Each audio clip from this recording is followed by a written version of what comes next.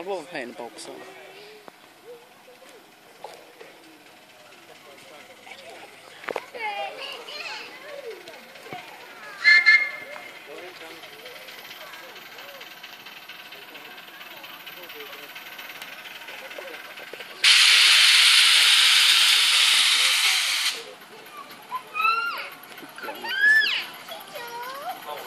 It's always good.